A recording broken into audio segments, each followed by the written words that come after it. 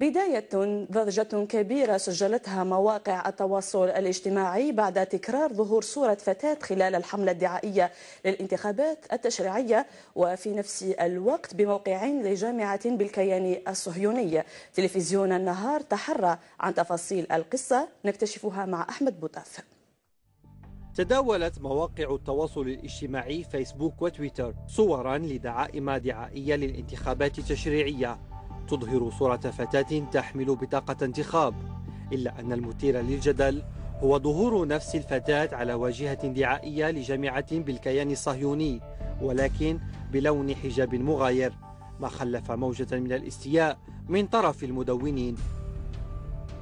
وضعية دفعتنا إلى التحقيق في هذه الحادثة عن كيفية تكرار نفس الشخصية وفي دعامتين إشهاريتين مختلفتين.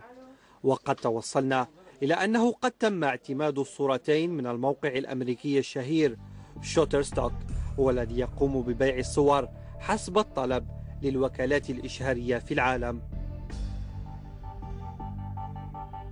إلا أن المؤسف في الأمر هو لماذا لم تقم الوزارة الوصية اعتماد شابة تمثل المجتمع الجزائري؟ وبالتالي تفادي كل هذه السيناريوهات التي تمس بسمعة مؤسسات الدولة.